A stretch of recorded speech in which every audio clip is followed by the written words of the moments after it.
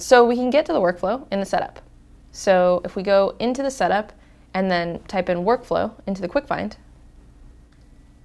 we should be able to create a new workflow right here. Just click on workflow rules. What is workflow? And so, yeah, here it breaks down the different actions that we can do and like certain tasks that you might be able to automate. But we don't we don't need to go through this. We can just do it ourselves. Yeah, that's what you're here for, to explain these things. Um, don't show me this page again. Actually, Maybe. when I'm not here. yeah. Great. So the first thing we want to do is create a new rule. But before we create that rule, let's think about what we're trying to automate. So I want to automate the whole repair process. Mm-hmm. You know, you file a maintenance ticket, and then I want to automatically alert a technician. Right. And so a technician is just a user in our organization. So we have two options.